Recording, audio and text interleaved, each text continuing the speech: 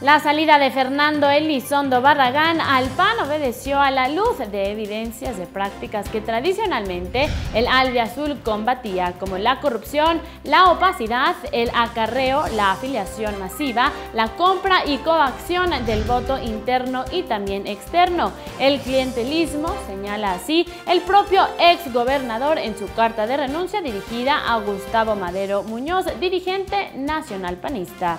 En el escrito con copia también al dirigente estatal José Alfredo Pérez Bernal, Elizondo Barragán reconoció que es difícil explicar todas las razones de la renuncia sin que su exposición se perciba como un ataque.